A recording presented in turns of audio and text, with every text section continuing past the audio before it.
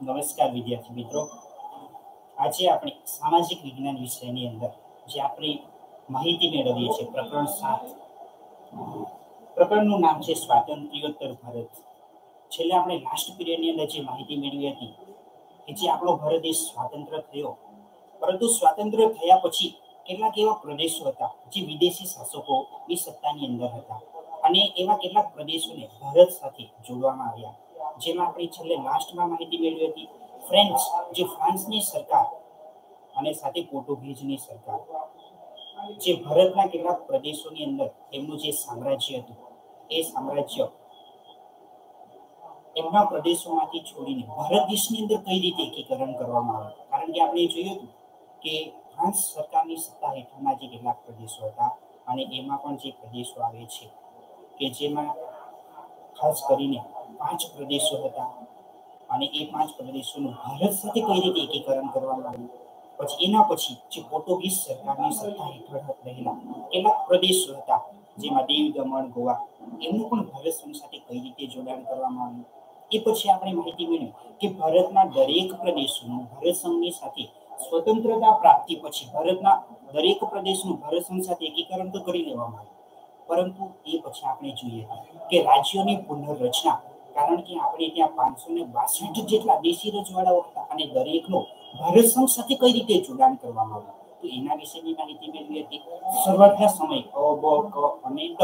એમ ચાર વિભાગોની અંદર જે રાજ્યો આપણા દેશના હતા, એ રાજ્યોને ચાર વિભાગોની અંદર વિભાજિત કરવામાં આવ્યા. અને પછી એમાં પણ કેટલાક પરિવર્તન કરવામાં આવ્યું. અને પરિવર્તન પછી અલગ અલગ રીતે રાજ્યોનું વિભાજન થયું. અને આજના સમયે આપણે જોઈએ તો આપણા ભારત દેશની અંદર જે આપણે લાસ્ટ પીરિયડની અંદર જે માહિતી મેળવી હતી કે જે અઠ્યાવીસ જેટલા રાજ્યો છે આપણા ભારત દેશની અંદર, સાથે આઠ કેન્દ્ર શાસિત પ્રદેશો પ્લસ એક કેન્દ્રીય રાષ્ટ્રીય રાજધાની દિલ્હીનો પણ સમાવેશ થાય. તો આ રીતે આજના સમયે આપણે ત્યાં રાજ્યોનું વિભાજન થયેલું છે. આજે આપણે માહિતી મેળવવાની છે. પ્રદેશવાદ. કારણ કે વિદ્યાર્થી મિત્રો, આપણે જાણીએ છીએ કે ભારત દેશ એક એવો દેશ છે કે વિશ્વની અંદર વિવિધતામાં એકતા ધરાવતો દેશ. કારણ કે વિશ્વની અંદર જે ઘણી બધી વિવિધતાઓ છે આપણા ભારત દેશની અંદર, એ ઘણી બધી વિવિધતાઓની વાત કરવાની છે. જેમાં આપણે જોઈએ છે કે આપણા ભારત દેશની અંદર જે વિવિધતાઓની જે ખાસ વાત કરીએ છીએ આપણે, તો વિવિધતાઓની વાત આવે તો વિવિધ ભાષાઓ, ભાષાઓની અંદર પણ આપણે ત્યાં ઘણી બધી વિવિધતાઓ છે. કારણ કે આપણે જોઈએ દરેક રાજ્યો પ્રમાણે આપણી ત્યાં ખાસ કરીને વિવિધતાઓ જોવા મળી.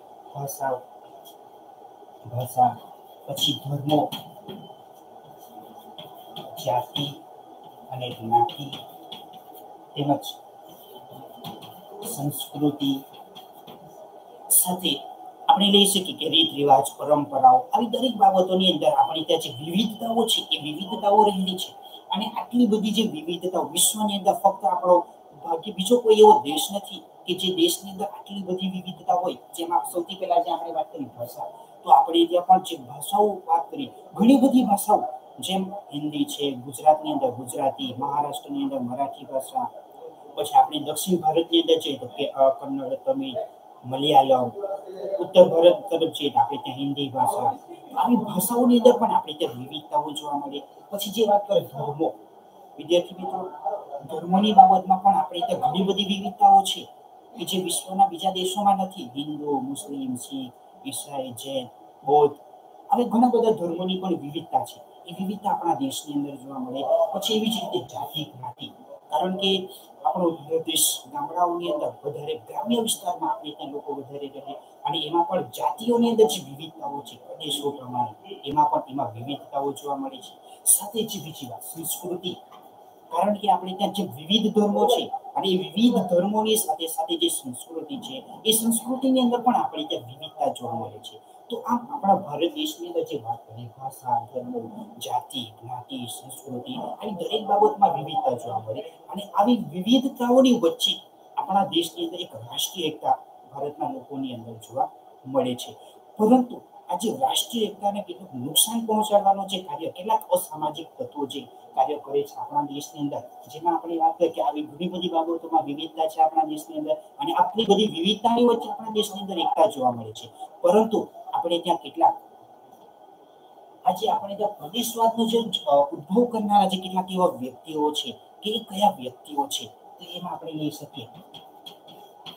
કેટલાક નેતાઓ. કેટલાક નેતાઓ આગેવાનો, પછી કેટલાક તોફાની તત્વો. કે આપણે શું આપણા ભારત દેશની અંદર ઘણી બધી બાબતોમાં વિવિધતા, ધર્મ, જાતિ, જ્ઞાતિ, રીત, રિવાજ, પરંપરા આવી દરેક બાબતમાં વિવિધતા છે. પરંતુ આ વિવિધતાઓની વચ્ચે આપણા ભારત દેશની અંદર જે એકતા જોવા મળે છે, પરંતુ એમાં જે એકતાને નુકસાન પહોંચાડવાનું જે કાર્ય છે જે પ્રદેશવાદ ઉદ્ભવ કરનારા જે કેટલાક પરિબળો છે એમાં આપણે ત્યાં કેટલાક નેતાઓ. દરેક નેતાઓ હોતા નથી, પરંતુ કેટલાક નેતાઓ, પછી સાથે કેટલાક આગેવાનો અને કેટલાક તોફાની તત્વો, અસામાજિક તત્વો કે જે આપણા દેશની અંદર ખાસ કરીને જે રીતે આપણે ત્યાં રાષ્ટ્રીય એકતા જોવા મળે છે લોકોની અંદર, અને એ રાષ્ટ્રીય એકતાને નુકસાન પહોંચાડવાનું હાનિ પહોંચાડવાનું, લોકોની એકતાનો ભંગ કરવાનું જે કાર્ય છે, એ ભંગ કરવાનું કાર્ય. આવા કેટલાક જે તોફાની તત્વો છે, એ તોફાની તત્વો દ્વારા આપણા ભારત દેશની અંદર કરવામાં આવે છે. સાથે બીજી માહિતી મેળવી કે આપણે ત્યાં જે પ્રદેશવાદ છે, જે આપણે માહિતી મેળવીએ છીએ પ્રદેશવાદ તે પ્રદેશવાદના ઉદ્ભવ અને વિકાસ માટે પણ આ સિવાય બીજા કેટલાક પરિબળો છે, એ પરિબળો પણ જવાબદાર ગણવામાં આવે છે કે જે પ્રદેશવાદનો ઉદ્ભવ અને વિકાસ. ઉદ્ભવ અને વિકાસ. વિકાસ માટે કેટલાક એવા પરિબળો છે, જે પરિબળો આપણે ત્યાં જવાબદાર કરવામાં આવે છે, જેમાં સૌથી પહેલા આવે છે ભાષા, પછી ધર્મો અને ત્રીજું જાતિ. કે જે પ્રદેશવાદને, પ્રદેશવાદનો ઉદ્ભવ કરવા માટે આ જે ત્રણ પરિબળો છે. આ ત્રણ પરિબળો જવાબદાર પણ ગણવામાં આવે છે. કારણ કે ભાષાની વાત કરીએ તો જ્યારે આપણે ત્યાં ભારત દેશ આપણો જ્યારે સ્વતંત્ર થયો સ્વતંત્ર થયો એ સમયગાળા દરમિયાન જ્યારે રાજ્યની પુનઃરચના થઈ શરૂઆતમાં પ્રારંભિક સમયમાં આપણે આગળ માહિતી મેં ચાર વિભાગોમાં જે વિભાજન થયું, પરંતુ એ સમયે કેટલાક પ્રદેશોની અંદર ભાષાના આધારે અલગ રાજ્યોની માંગણી પણ ઉદ્ભવી હતી આપણે ત્યાં. અને આજે આપણે જોઈએ કે જે ઓગણીસો પહેલી મે જે આપણે ગુજરાત રાજ્યની જે સ્થાપના દિનની વાત કરીએ છીએ, પહેલી મે ઓગણીસો છે.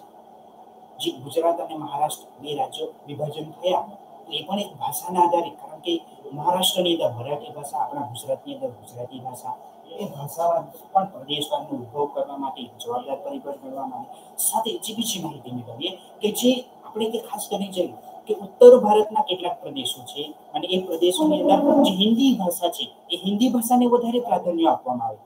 અને દક્ષિણ ભારતની વાત કરીએ, તો દક્ષિણ ભારતની અંદર બિન હિન્દી ભાષાને પ્રાધાન્ય આપવામાં આવે છે. તો આમ ભાષાના આધારે પણ આપણે ત્યાં જે પ્રદેશવાદનો જે ઉદ્ભવ છે, એ ઉદ્ભવ થાય છે.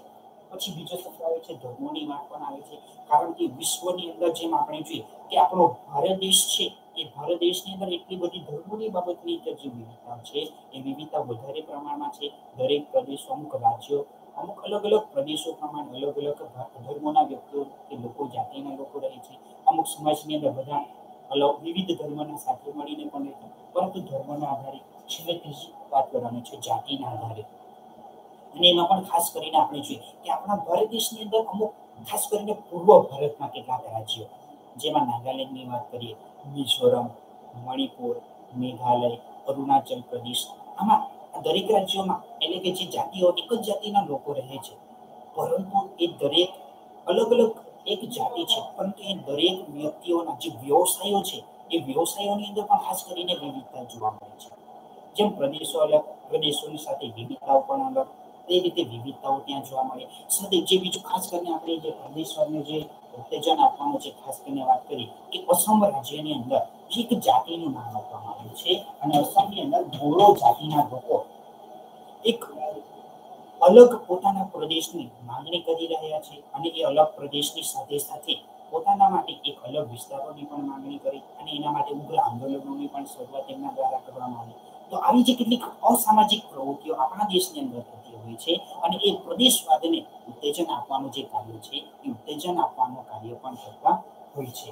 સાથે આ બીજી માહિતી મેળવી કે આપણે અમુક રાજ્યોનું જે વિભાજન થયું, આપણા ભારત દેશની અંદર અમુક રાજ્યોનું જે વિભાજન થયું એ પણ પ્રદેશવાદના આધારે. જેમાં આપણે વાત કરીએ સૌથી પહેલા, પ્રદેશવાદના આધારે જે રાજ્યોનું વિભાજન થયું, જે પંજાબ રાજ્યમાંથી હરિયાણા રાજ્ય પછી બિહાર રાજ્યમાંથી ઝારખંડ રાજ્ય અલગ થયું. મધ્યપ્રદેશ રાજ્યમાંથી છત્તીસગઢ અલગ થયું. ઉત્તર પ્રદેશમાંથી ઉત્તરાખંડ રાજ્યનું અલગ વિભાજન થયું. અને હાલના સમયે આપણે જોઈએ કે મહારાષ્ટ્ર રાજ્યમાંથી એક અલગ વિદર્ભ રાજ્યની માંગણી કરવામાં આવી છે. તો આ જે આ રીતે જે અલગ અલગ આ રાજ્યોનું જે વિભાજન થયું છે આપણે ત્યાં, એક અલગ પ્રદેશવાદીનું વિભાજન થયું. તો આ પ્રકારની આવી કેટલીક માહિતીઓ આપણે પ્રદેશવાદીની અંદર યાદ રાખવાની હવે આગળ આપણે બીજી માહિતી મેળવીએ. હવે આપણે નવો મુદ્દો આવે છે.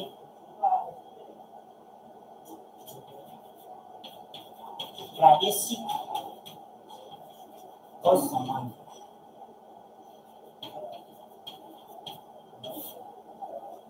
પ્રાદેશિક અસમાનતાની વાત કરવામાં કે વિદ્યાર્થી મિત્રો, આપણે જોઈએ કે આપણા ભારત દેશની અંદર દરેક પ્રદેશો એક સરખા નથી. જેમાં વિકાસની અંદર જોઈએ છે અમુક પ્રદેશો એવા પ્રાદેશિક અસમાનતા એટલે અસમાનતા, પ્રાદેશિક એટલે અલગ અલગ પ્રદેશો, અસમાનતા એટલે કે દરેક પ્રદેશોનો વિકાસ આપણે ત્યાં એક સરખો નથી. અને એમનો જે શરૂઆત છે, ખાસ કરીને આપણે ત્યાં કેટલા વિદેશી શાસકો આવ્યા, જેમ ખાસ કરીને આપણે વાત કરીએ અંગ્રેજોની વાત કરીએ કે જ્યારે આપણે ત્યાં અંગ્રેજો પોતાના શાસન હેઠળ આવ્યા, પરંતુ એ સમય અંગ્રેજો દ્વારા એવા પ્રદેશો કે એવા વિસ્તારોનો જે એમના દ્વારા વિકાસ કરવામાં આવ્યો, જ્યાં એમને આર્થિક રીતે લાભ થતો હોય. પરંતુ જ્યાં અંગ્રેજોને લાભ થતો નથી અને એવા પ્રદેશોનો અંગ્રેજો દ્વારા વિકાસ કરવામાં નહોતો આવ્યો, અમુક તો એના કારણે આપણે ત્યાં પ્રાદેશિક અસમાનતા વિકસે કે કેટલાક પ્રદેશો વિકસિત છે, તો કેટલાક પ્રદેશો અલ્પ વિકસિત, ઓછા વિકાસ પામેલા છે. અને એના પછી જ્યારે આપણા ભારત દેશ સ્વતંત્ર થયો, સ્વતંત્ર થયા પછી પણ આપણે ત્યાં સરકાર દ્વારા કેટલીક આયોજન પંચની રચના કરવામાં આવી અને જે અતિ વિકસિત જે વિકાસ પામેલા પ્રદેશો નથી અને એવા વિકાસ ન પામેલા પ્રદેશોમાં સરકાર દ્વારા કેટલીક યોજનાઓ લાગુ કરવામાં આવી, કેટલાક પ્રદેશોને વિકાસ કરવાના પ્રયાસો પણ કરવામાં આવ્યા. પરંતુ કેટલાક આપણે ત્યાં, કે આપણે ત્યાં રાજકારણીઓ, કેટલાક આગેવાનો, કે એમની કેટલીક એવી પ્રવૃત્તિઓના કારણે પણ કેટલાક જે પ્રદેશો છે, એ પ્રદેશ ભેદભાવપૂર્ણ કેટલોક વ્યવહાર એવી પ્રવૃત્તિઓના કારણે જે કેટલાક પ્રદેશો છે, એ પ્રદેશોનો વિકાસ થયો નથી. અને આપણે ત્યાં જોઈએ કે ત્રણ પ્રકારના રાજ્યો આપણે ત્યાં જોવા મળે છે. અસમાનતાની જોઈએ કે કેટલાક પ્રદેશો વિકસિત હોય, કેટલાક પ્રદેશો વિકસિત નથી. તો જેમાં કેટલાક રાજ્યો છે આપણે ત્યાં. રાજ્યો વિકસિત, અમુક રાજ્યો વિકસિત, અમુક રાજ્યો અલ્પ વિકસિત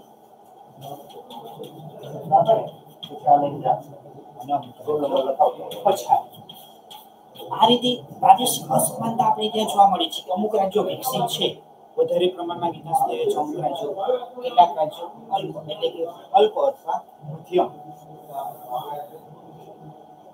વિકસિત મધ્યમ વિકસિત અને અલ્પ વિકસિત આ રીતે આપણે ત્યાં વિવિધતા જોવા મળે છે. દરેક રાજ્યોની અંદર કે અમુક રાજ્યો વધારે વિકાસ પામેલા હોય છે. કેટલાક રાજ્યો મધ્યમ એટલે કે અમુક ભાગોમાં અમુક પ્રદેશો વિકાસ થયા હોય કેટલાક પ્રદેશોમાં વિકાસમાં અને અમુક રાજ્યો એવા પણ છે અલ્પ વિકસિત જે અમુક રાજ્યોની અંદર ઘણી માત્રામાં વિકાસ થયો ન હોય એ રીતે. અને એમાં પણ કેટલાક સાથે આમ ત્રણ પ્રકારે રાજ્યોની અંદર વિકાસની માત્રા આપણે જોઈએ. પરંતુ અમુક રાજ્યો, અમુક પ્રદેશોમાં પણ જે વિવિધતાઓ જોવા મળે છે કે જેમ પ્રાદેશિક અસમાનતા. કોઈક રાજ્યોને આપણે વિકસિત કહીએ છીએ, પરંતુ અમુક એ રાજ્યોની અંદર પણ કેટલાક એવા પ્રદેશો હોય કે જે પ્રદેશોનો વધારે વિકાસ થયો નથી. જેમ ઉદાહરણ તરીકે આપણે માનવા લઈએ, તો જે મહારાષ્ટ્ર રાજ્યની વાત કરીએ આપણે, એક મહારાષ્ટ્ર રાજ્યની એક વિકસિત રાજ્યની અંદર એમાં સમાવેશ થાય મહારાષ્ટ્ર રાજ્ય. પરંતુ એ જ મહારાષ્ટ્ર રાજ્યના જે વિદર્ભની વાત કરીએ, મરાઠવાડાની વાત કરીએ, તો એ જે વિસ્તાર છે, એ વિસ્તાર અલ્પ વિકસિતની અંદર આવે છે. તો આ રીતે પ્રાદેશિક અસમાનતા જે આપણા દેશના રાજ્યો છે, પણ એ રાજ્યોની અંદર આ રીતે અસમાનતા જોવા મળે છે. કેટલાક પ્રદેશો વધારે વિકસિત પામેલા હોય, કેટલાક ઓછા પ્રમાણમાં વિકસિત પામેલા હોય, અને એવી જ રીતે જે બીજી આપણી માહિતી મળે કે આપણા જે દેશના કેટલાક રાજ્યો એવા પણ હોય કે કોઈક રાજ્ય ખેતી ક્ષેત્રે આગળ હોય, કોઈક રાજ્ય એવું હોય કે ઉદ્યોગ ક્ષેત્રની અંદર આગળ હોય. તો આવી રીતે જે પ્રાદેશિક રીતે જે અસમાનતા છે. એ દરેક રાજ્યો પ્રમાણે વિવિધતાવાળી જોવા મળે છે. જેમ આપણે ઉદાહરણની વાત કરીએ કે જે મહારાષ્ટ્ર રાજ્ય છે, એક રીતે વિકસિત રાજ્યની અંદર સમાવેશ થાય. પરંતુ એ જ મહારાષ્ટ્ર રાજ્યના મરાઠવાડા છે, વિદર્ભ જેવા પ્રદેશો છે, એ પ્રદેશો એટલે કે જે કહેવા રીતે આપણે અલ્પ વિકસિતની અંદર સમાવેશ જોવા કરવામાં એટલે કે જે અસમાનતા જોવા મળે છે. કે એક પછી એવી છે કે આપણે ગુજરાતની પણ વાત કરીએ, તો ગુજરાતના પણ અમુક કેટલાક પ્રદેશો છે, એક વિકસિત આપણું ગુજરાત રાજ્ય પણ એક ક્ષેત્રે આપણે જોઈએ કે વિકસિત રાજ્યની અંદર એમનો સમાવેશ થાય. પરંતુ એવી જ રીતે આપણા ગુજરાતના જ કેટલાક એવા પ્રદેશો જેમ ખાસ કરીને આપણે હજી કચ્છ વિસ્તારોના વાત કચ્છના કેટલાક પ્રદેશોની વાત કરીએ, પછી સાથે સાથે બનાસકાંઠા જિલ્લાના કેટલાક પ્રદેશોની વાત કરીએ, કે પછી ડાંગ જિલ્લાના કેટલાક પ્રદેશોની વાત કરીએ, તો એ જે પ્રદેશો છે એના અલ્પ વિકસિતની અંદર સમાવેશ થાય.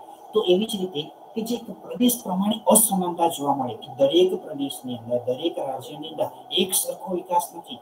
કેટલાક પ્રદેશોમાં સારો વિકાસ, કેટલાક પ્રદેશોમાં ઓછા પ્રમાણમાં વિકાસ. આમ, આપણે ત્યાં પ્રાદેશિક રીતે જે અસમાનતા છે, એ અસમાનતા આપણે ત્યાં જોવા મળે છે. તો આ રીતે આપણા ભારત દેશની અંદર પ્રાદેશિક અસમાનતા જોવા મળે છે. હવે વિદ્યાર્થી મિત્રો, એટલે માહિતી મેળવીએ કે આપણા દેશની અંદર આપણો ભારત દેશ જ્યારે સ્વતંત્ર થયો અને સ્વતંત્ર થયા પછી કેટલાક એવા વિભાગો છે જેમાં અલગ અલગ સમયની સાથે વિકાસ થયો. જેમાં સૌથી પહેલા આપણે વાત કરવાની છે વિજ્ઞાન અને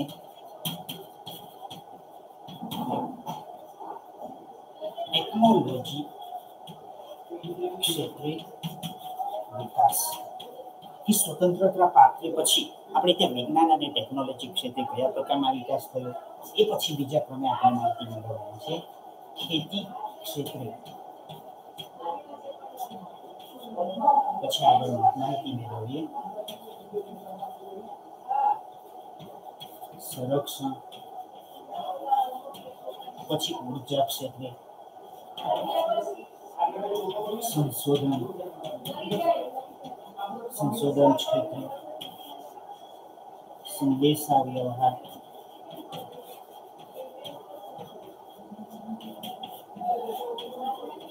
ઉદ્યોગ તો જ્યારે સ્વતંત્રતા પ્રાપ્તિ પછી આપણા ભારત દેશની અંદર ઘણા બધા એવા વિભાગો છે જે સ્વતંત્રતા પ્રાપ્તિ પછી આપણે ત્યાં ખાસ કરીને એ વિભાગોની અંદર વિકાસ થયો. જેમાં આપણે સૌથી પહેલા જે માહિતી મેળવે કે વિજ્ઞાન અને ટેકનોલોજી ક્ષેત્રે આપણા ભારત દેશની અંદર જે વિકાસ છે, એ વિકાસ કઈ રીતે આપણા ભારત દેશની અંદર થયો? કે આપણો ભારત દેશ જ્યારે સ્વતંત્ર થયો અને એ સ્વતંત્રતા પ્રાપ્તિ પછી જેમાં કેટલાક વૈજ્ઞાનિકો છે જે વૈજ્ઞાનિકો દ્વારા જે નવા નવા સંશોધનો કરવામાં આવ્યા અને સંશોધનના કારણે એક વિજ્ઞાન અને ટેકનોલોજી ક્ષેત્રે ભારતને એક આગવું સ્થાન આપવામાં આવ્યું સ્વતંત્રતા પ્રાપ્તિ પછી, જેમાં ડોક્ટર હોમી બાબા, પછી doctor Raja Ramanna doctor Vikram Sarabhai doctor CV Raman doctor APJ Abdul Kalam, જે આપણા રાષ્ટ્રપતિ પણ હતા. આવા કેટલાક જે આપણા ભારત દેશના જે મહાન વૈજ્ઞાનિકો થયા, જેમને આપણે વિજ્ઞાન અને ટેકનોલોજી ક્ષેત્રના જે વિકાસ માટે ખૂબ એક મહત્વપૂર્ણ યોગદાન એમના દ્વારા આપવામાં આવ્યું. એ પછી આપણે જોઈએ, ફક્ત પુરુષો જ નહીં, કેટલીક મહિલા વૈજ્ઞાનિકો હતી. એમના દ્વારા પણ વિજ્ઞાન અને ટેકનોલોજી ક્ષેત્રે આપણે ત્યાં ખૂબ મહત્વનું યોગદાન આપ્યું. જેમાં જાનકીમાં જે એક વનસ્પતિ ક્ષેત્રે, જેમાં વનસ્પતિની જે કેટલીક ખાસ કરીને વિવિધ ઔષધિઓની વાત આવે છે એમાં બીજી કેટલીક વનસ્પતિઓ છે, કે કઈ રીતે આપણા માટે ઉપયોગી સાબિત થાય, તો વનસ્પતિ ક્ષેત્રે અસીમા ચેટર્જી જે રસાયણ જે રસાયણ શાસ્ત્ર છે, એના વિશે સંશોધન પછી ડોક્ટર ઇન્દિરા આહુજા, જે તબીબ ક્ષેત્રે સાથે શકુંતલા દેવી, ગણિત શાસ્ત્ર વિષયક, પછી સાથે કલ્પના ચાવલા અને સુનિતા વિલિયમ્સ, એ પણ આપણે નામ જાણીએ છીએ. અવકાશ ક્ષેત્રે એમના દ્વારા જે કેટલું ખાસ કરીને સંશોધન કરવામાં આવ્યું. તો આ રીતે છે આપણે ત્યાં ખાસ કરીને વિજ્ઞાન અને ટેકનોલોજીના ક્ષેત્રની અંદર, જ્યારે આપણો ભારત દેશ આપણો ભારત દેશ સ્વતંત્ર થયો અને સ્વતંત્રતા પ્રાપ્તિ પછી જે આવા ઘણા બધા મહિલા વૈજ્ઞાનિક હોય કે પુરુષ વૈજ્ઞાનિક હોય, એમના દ્વારા સંશોધન કરવામાં આવ્યું અને આપણે ત્યાં જે વિજ્ઞાન ટેકનોલોજીને આગળ લઈ જવાનું કાર્ય એમના દ્વારા કરવામાં આવ્યું અને જેમાં ખાસ કરીને ઈસરો, જે આપણે ત્યાં જે સર્વ સંસ્થા છે વિજ્ઞાન ટેકનોલોજીના વિકાસ માટે આગળ વધતો જે કાર્ય કરે અને એમનો પણ ખૂબ મહત્વપૂર્ણ યોગદાન છે. તો આ રીતે આપણે ત્યાં જે પ્રાપ્તિ પછી વિજ્ઞાન ટેકનોલોજી ક્ષેત્રે આવા ઘણા બધા વૈજ્ઞાનિકો દ્વારા જે મહત્વપૂર્ણ સંશોધનો કરવામાં આવ્યા, એ મહત્વપૂર્ણ યોગદાનો આપવામાં આવ્યા. એ પછી આપણે જોઈએ ખેતી ક્ષેત્રે, કે જે વિકાસની વાત કરીએ, ખેતી ક્ષેત્રની વાત કરીએ આપણે ત્યાં. તો એમાં પણ ખાસ કરીને એક સમય એવો હતો આપણે ત્યાં, કે ખેતી ક્ષેત્રે આપણો ભારત દેશ પરાવલંબી હતો. પરંતુ જ્યારે આપણો દેશ સ્વતંત્ર થયો અને સ્વતંત્ર થયા પછી એક સ્વાવલંબી દેશ થયો આપણે ખેતી ક્ષેત્રે, એમાં પણ ખાસ કરીને હરિયાળી ક્રાંતિ. કારણ કે આપણે ત્યાં ઓગણીસો સાહીઠ પછી જ્યારે હરિયાળી ક્રાંતિ આવી અને હરિયાળી ક્રાંતિ આવવાની સાથે એક સમય જ્યારે સ્વતંત્ર આપણો ભારત દેશ થયો અને એ સમય કેટલીક ચીજ વસ્તુ એવી હતી કે જે ખેતી માટેની એવી વસ્તુ હતી કે જે આપણો ભારત દેશ વિદેશથી આયાત કરતો. પરંતુ વિદેશથી આયાત કરવાના બદલે હરિયાળી ક્રાંતિ આવી અને હરિયાળી ક્રાંતિ આવવાની સાથે જ આપણો ભારત દેશ કેટલીક ખેતી વિષયક ચીજ વસ્તુ વિદેશની અંદર નિકાસ કરતો થયો. સાથે હરિયાળી ક્રાંતિ જે આવવાનું જે મુખ્ય કારણ કે આપણે ત્યાં સરકાર દ્વારા આયોજન પંચની રચના કરવામાં આવી. ખેતી ક્ષેત્રે કેટલીક જે સુવિધાઓ છે, એ સુવિધા ઉપલબ્ધ કરવામાં આવી. એમાં સિંચાઈની સુવિધા, વીજળીની સુવિધા અલગ અલગ ખેતી માટે ઉપયોગમાં આવતા કેટલાક યંત્રોની સુવિધાઓ. પછી સાથે સરકાર દ્વારા કેટલીક યુનિવર્સિટીઓની પણ સ્થાપના કરવામાં આવી. જેમાં આપણે ખાસ કરીને ગુજરાતની વાત કરીએ, તો આપણા ગુજરાતની અંદર દાંતીવાડા, આણંદ, જુનાગઢ, નવસારી, આવી કેટલીક જગ્યાએ કૃષિ યુનિવર્સિટીઓની પણ સ્થાપના કરવામાં આવી અને જેના કારણે આપણે ત્યાં વિવિધ ખેતી વિષયક સંશોધન કરવામાં આવે છે અને ખેતી વિષયક સંશોધનની સાથે ખેતીનો પણ વિકાસ આપણે ત્યાં થયો. તો આ રીતે આપણે ત્યાં હરિયાળી ક્રાંતિ થઈ, ખેતી ક્ષેત્રે. પછી જે વાત કરીએ સંરક્ષણ. વિદ્યાર્થી મિત્રો, આપણે જાણીએ કે આ ભારત દ્વારા એટલે સંરક્ષણની સામગ્રીઓ એટલે કે જે વિદેશ કરતો પરંતુ ભારત દ્વારા જે પરમાણુ પરીક્ષણ, તમને ખ્યાલ હશે ઓગણીસો અઠ્ઠાણું ની અંદર જે આપણે ત્યાં રાજસ્થાનની અંદર જે પોખરણ નામનો પ્રદેશ આવ્યો છે રાજસ્થાનની અંદર, અને એ રાજસ્થાનના પોખરણ નામના જે પ્રદેશની અંદર જે સૌથી પહેલા ભારત દેશ દ્વારા ઓગણીસો ને અઠ્ઠાણું ની અંદર સંરક્ષણ ક્ષેત્રે ઓગણીસો અઠ્ઠાણું ની અંદર રાજસ્થાનની અંદર આવે પોખરણની અંદર પરમાણુ પરીક્ષણ કરવામાં આવ્યું હતું ભારત દ્વારા. તો એ રીતે સંરક્ષણ ક્ષેત્રે પણ આપણે ત્યાં વિવિધ સુવિધા ઉપલબ્ધ કરવામાં આવી, સ્વતંત્રતા પ્રાપ્તિ પછી એ પછી ઊર્જા ક્ષેત્રની વાત કરીએ તો એમાં પણ ઘણી બધી કે કેમાં ઊર્જા ક્ષેત્રે પણ આપણે જોઈએ, જેમાં ખાસ કરીને આજના સમયે આપણે જોઈએ કે આપણે ત્યાં પવન ઊર્જા છે, સૌર ઊર્જા બાયોગેસ ઊર્જા, એવી કેટલાક વિવિધ ઉર્જાના સ્ત્રોતો કે જે ઉર્જાની માંગને પહોંચી વળવા માટે સરકાર દ્વારા ઉપલબ્ધ કરવામાં આવે છે, પરમાણુ ભઠ્ઠીઓની સ્થાપના કરવામાં આવે છે. તો આ રીતે ઊર્જા ક્ષેત્રે પણ ભારત સરકાર દ્વારા સારો વિકાસ, જે સ્વતંત્રતા પ્રાપ્તિ થઈ એ પ્રાપ્તિ પછી સારા પ્રમાણમાં વિકાસ કરવામાં આવ્યો. એ પછી આપણે જોઈએ સંશોધન ક્ષેત્રે. કે જે સ્વતંત્રતા પ્રાપ્તિ પછી પણ આપણા ભારત દેશની અંદર એક સંશોધન ક્ષેત્રની જે વાત કરવામાં આવી, અને એમાં પણ ખાસ કરીને કેટલાક ઉપગ્રહોની વાત કરીએ, વિદ્યાર્થી મિત્રો, કે જે આપણા ભારત સરકાર દ્વારા કેટલાક ઉપગ્રહો આજે આપણે કેટલીક જે સુવિધાઓ પ્રાપ્ત કરીએ છીએ, એ ઉપગ્રહોને આભારી છે. તો એમાં પણ કેટલાક જે ઉપગ્રહો છે, ઉપગ્રહો ભારત સરકાર દ્વારા મૂકવામાં આવ્યા છે, અવકાશની અંદર. અને એમાં પણ કેટલાક ઉપગ્રહોની વાત કરીએ આપણે, સંશોધન ક્ષેત્રે જેમાં આર્યભટ્ટ, રોહિણી, પછી ભાસ્કર અને ચોથું PS, PSL, polar satellite launch vehicle આ કેટલાક જે ઉપગ્રહો છે, એ આ ઉપગ્રહો ભારત સરકાર દ્વારા એટલે કે મૂકવામાં આવ્યા છે. અને જેની જે રચના છે જેમાં સૌથી આર્યભટ્ટ જે છે, ઓગણીસો પંચોતેરની અંદર, પછી રોહિણી અને ભાસ્કર છે ઓગણીસો ને ઓગણએસી ની અંદર. તો આવા જે કેટલાક તબક્કા ઉપગ્રહો છે, એ ભારત સરકાર દ્વારા મૂકવામાં આવ્યા છે. અને જેના કારણે આપણે ત્યાં જે સંશોધન ક્ષેત્રે આ પ્રકારના જે ઉપગ્રહો છે, એ ઉપગ્રહો ખૂબ જ મદદરૂપ થાય છે. અને સાથે જે ખાસ કરીને વાત કરી કે જે ઈસરો દ્વારા જ્યાં પ્રકારના જે સંશોધન આ સાથે સાથે જે સંશોધનની વાત આવે, અને જે આપણે ત્યાં સર્વોચ્ચ સંસ્થા તરીકે જે ઈસરો દ્વારા કેટલાક નવા નવા જે સંશોધનો છે, એ સંશોધનો પણ એના દ્વારા કરવામાં આવે છે. તો એ આ સ્વતંત્રતા પ્રાપ્તિ પછી આ રીતે સંશોધન ક્ષેત્રે પણ આપણા ભારત દેશ દ્વારા જે અલગ અલગ ઉપગ્રહોના ઉપયોગથી જે વિકાસ છે, એ વિકાસની પ્રવૃત્તિ આગળ વધારી છે. એ પછી આપણે જોઈએ સંદેશા વ્યવહાર. કારણ કે એક સમય એવો હતો આપણે ત્યાં કે જે કબૂતરો દ્વારા કોઈ પણ માહિતી આજે આપણે જોઈએ છીએ એક સમય. એટલે કે જે કોઈ જ્યારે રાજા મહારાજાઓના સમયની વાત કરીએ તો કબૂતર દ્વારા કોઈ પણ ચિઠ્ઠી એક સ્થળેથી બીજા સ્થળે પણ મોકલવામાં આવતી એવી પ્રવૃત્તિઓ થતી પછી થોડા સમય પહેલાની આપણે વાત કરીએ તો પોસ્ટકાર્ડ દ્વારા કોઈક માહિતી એક સ્થળેથી બીજા સ્થળે મોકલવામાં આવતી. પરંતુ આજે આપણે જોઈએ વિજ્ઞાન અને ટેકનોલોજીના સમયગાળા દરમિયાન કે આજે સંદેશા વ્યવહાર છે, એ ઝડપી બન્યો છે આજે આપણે ત્યાં જાણીએ છીએ. કારણ કે મોબાઈલ છે, કોમ્પ્યુટર, ઇન્ટરનેટનું માધ્યમ, ફેક્સનું માધ્યમ, આવા જે કેટલાક માધ્યમો છે અને એ માધ્યમો દ્વારા આપણે જાણીએ સંદેશા વ્યવહાર એક સમય હતો કે કોઈ પણ સંદેશો એક સ્થળેથી બીજા સ્થળે મોકલ્યો તો લાંબા સમયગાળાની પ્રક્રિયા, ઘણો સમય થઈ જતો હોય અને ઘણા સમય પછી કોઈ સંદેશો એક બીજા વ્યક્તિ સાથે પહોંચતો પરંતુ આજના સમયે આપણે જોઈએ કે કોઈ ઇન્ટરનેટ કે મોબાઈલના માધ્યમથી આપણે જોઈએ કે વીડિયો કોલ દ્વારા. આજે ફક્ત આપણા ભારત દેશની અંદર જ નહીં, વિદેશની અંદર કોઈ વ્યક્તિ બેઠી હોય તો એ વ્યક્તિને પણ આપણે તરત જ એમનો સંપર્ક કરી શકીએ અને એમનો સંપર્ક કરીને એમની પાસેથી માહિતી પણ મેળવી શકીએ. તે રીતે જે સંદેશા વ્યવહારની વાત કરીએ તો એમનો પણ સારો વિકાસ થયો છે. પછી ખાસ કરીને વાત કરીએ ઉદ્યોગોનો વિકાસ. એમાં પણ સ્વતંત્રતા પ્રાપ્તિ પછી ઘણી બધી બાબતોમાં આપણે ત્યાં ખાસ કરીને ઉદ્યોગોનો વિકાસ છે. જે વિકાસ ખાસ કરીને આપણા ભારત દેશની અંદર વધારે પ્રમાણમાં થયો છે. અને એમાં પણ ખાસ કરીને ભારત સરકારના જે બે સૂત્રો છે, તમને ખ્યાલ હશે મેક ઇન ઇન્ડિયા અને સાથે ડિજિટલ ઇન્ડિયા એવા જે બે સૂત્રોના આધારે આપણા ભારત દેશની અંદર આપણે જોઈએ છે કે જે ખાસ કરીને ઉદ્યોગ ક્ષેત્રનો જે વિકાસ વધારવા માટે સરકાર દ્વારા આવા કેટલાક નવા સૂત્રો આપવામાં આવ્યા અને સાથે સાથે આપણા ભારત દેશનો જે ઔદ્યોગિક વિકાસ છે, એ ઔદ્યોગિક વિકાસ એ પણ ખૂબ વધારે પ્રમાણમાં થયો છે.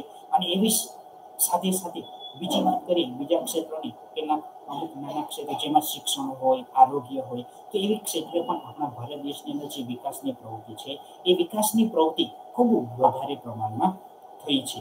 તો આ રીતે જેમ સમયની સાથે સાથે જેમ સમય બદલાય, સમયની સાથે કેટલીક અલગ અલગ બાબતોની અંદર જે આપણા ભારત દેશની અંદર જે વિકાસ છે, એ વિકાસની પ્રવૃત્તિ ખૂબ ઝડપ બની છે. અને સાથે છેલ્લે આપણે વાત કરીએ કે જે સંયુક્ત રાષ્ટ્ર સંઘ દ્વારા, જે ભારતની ભલામણ દ્વારા, જેમ આપણે જાણીએ છીએ કે એકવીસમી જૂન, ખ્યાલ છે કોઈને? એકવીસમી જૂનને આપણે કયા દિવસ તરીકે ઉજવીએ છીએ? કે વિશ્વ યોગ દિન તરીકે ઉજવવામાં આવે છે. જે એકવીસમી જૂન છે. એકવીસમી જૂનને વિશ્વ યોગ દિન તરીકે પણ ઉજવવામાં આવે છે. તો આ વિશ્વ યોગ દિન ઉજવવાનું કારણ પણ એ જે ભારતના એક અધક ઘણા પ્રયાસો જે ભારતના પ્રયત્નો થકી જ સંયુક્ત રાષ્ટ્ર સંઘ દ્વારા આ પ્રકારના જે સહયોગ છે, એ સહયોગ સંયુક્ત રાષ્ટ્ર સંઘ દ્વારા આપવામાં આવ્યો ભારત સરકારને. અને એ વિશ્વ યોગ દિન તરીકે જે ભારતની ભલામણને આધારે જ આજે સમગ્ર વિશ્વની અંદર આપણે જોઈએ છીએ કે જે વિશ્વ યોગ દિન ઉજવવામાં આવે છે. તો આમાં ભારત દ્વારા જે સ્વતંત્રતા પ્રાપ્તિ પછી જે આવા વિજ્ઞાન હોય, ખેતી, સંરક્ષણ હોય, ઊર્જા, સંશોધન આવી દરેક બાબતોની અંદર જે ભારત સરકાર દ્વારા જે ઘણી બધી બાબતોની અંદર જે સંશોધન છે, એ સંશોધન ભારત સરકાર દ્વારા કરવામાં આવ્યું. અને એક પછી એક ઘણી બધી બાબતોની અંદર જે વિકાસ છે, એ વિકાસ ભારત સરકાર દ્વારા કરવામાં આવ્યો તો વિદ્યાર્થી મિત્રો, આજે આપણું એક પ્રકરણ પણ પૂરું થાય છે અને આ પ્રકરણનું જે સ્વાધ્યાય છે, એ સ્વાધ્યાય તમારી માટેની અંદર લખવાનો રહેશે. અને વિદ્યાર્થી મિત્રો, છેલ્લે લાસ્ટમાં શરૂઆતથી દરેક માહિતી એક વાર જણાવી દઉં કે શરૂઆતથી લઈને અંત સુધી જે આપણી ઘણી બધી માહિતી મેળવી કે જે સ્વાતંત્ર્યોત્તર ભારત કે જે ભારત દેશ સ્વતંત્ર થયો અને સ્વાતંત્ર્ય થયા પછી, ભારત દેશ સ્વતંત્ર થયા પછી જે અલગ અલગ દેશી રાજ્યોનું એકીકરણ કરવામાં આવ્યું. એ પછી ભારતના અલગ અલગ પ્રદેશો છે અલગ અલગ પ્રદેશોનું એકીકરણ થયું પછી અલગ અલગ રાજ્યોની રચના થઈ એ રાજ્યો પછી સ્વતંત્રતા પ્રાપ્તિ, પછી ભારતની અંદર કેટલીક પ્રદેશવાદ, પ્રાદેશિક અસમાનતા આવી કેટલીક બાબતો જન્મી અને એ પછી આપણા દેશની અંદર જોઈએ, આપણે વિજ્ઞાન હોય, ખેતી ક્ષેત્ર હોય, સંરક્ષણ, ઊર્જા, સંશોધન સંદેશા વ્યવહાર, આવી વિવિધ બાબતોની અંદર જે ભારત દેશ દ્વારા વિકાસ કરવામાં આવ્યો. અને વિશ્વની અંદર આજે આપણે જોઈએ, એક અગ્રસર દેશ આગળ પડતો દેશ હોય તે દેશોની અંદર આગળ પડતા દેશ, વિકસિત દેશો તરફ જે આપણો ભારત દેશ આગળ વધી રહ્યો છે. તો વિદ્યાર્થી મિત્રો, આજે આપણે પ્રકરણ પૂરું કરીએ છીએ. નમસ્કાર.